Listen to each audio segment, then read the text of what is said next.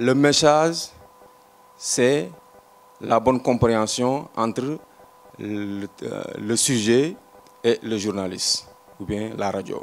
Donc, il faut parler, par exemple, la langue de la cible.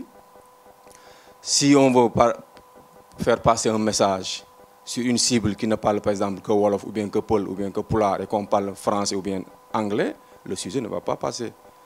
C'est l'exemple qu'on nous donnait souvent à l'école avec le président Léopold Sédar Senghor en 1983 qui faisait une tournée, donc des tournées politiques, et qui devait aller à Kébémer.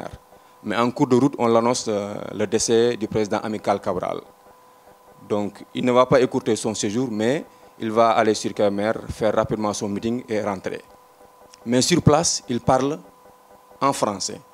Il dit, avant de commencer, j'aimerais vous dire que on m'a annoncé tout à l'heure en cours de route le décès de mon ami Amical Cabral. Et le public applaudit. C'est qui? On n'a pas compris. Il parlait français, les gens ne comprenaient pas. Donc, on a applaudi alors qu'il parlait d'un décès.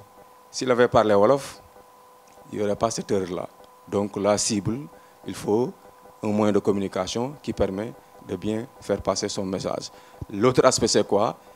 La simplicité dans l'écriture à la radio. Hein?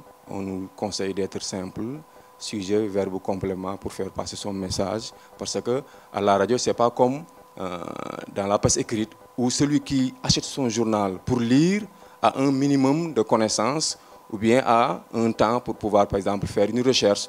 Quand il tombe sur un sujet euh, ou bien un mot un peu compliqué, il y a le dictionnaire à côté, alors que la radio, ça passe. Donc, il faut être simple pour faire passer son message.